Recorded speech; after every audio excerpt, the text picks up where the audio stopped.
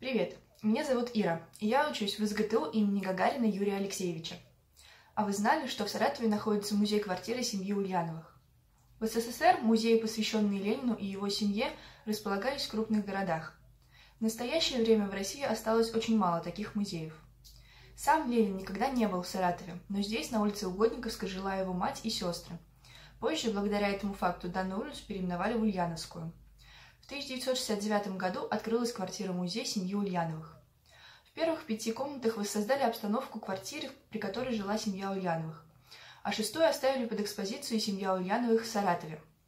В ней располагались книги, копии документов, газеты и журналы, а также письма, которые писал Ленин в наш город. В СССР в музее регулярно проводились ленинские чтения, встречи с ветеранами партии и труда, а также музей был обязательной частью посещения саратовских школьников. В 1993 году данный музей был перепрофилирован в этнографический музей, но часть обстановки квартиры Ульяновых осталась как э, нынешняя экспозиция.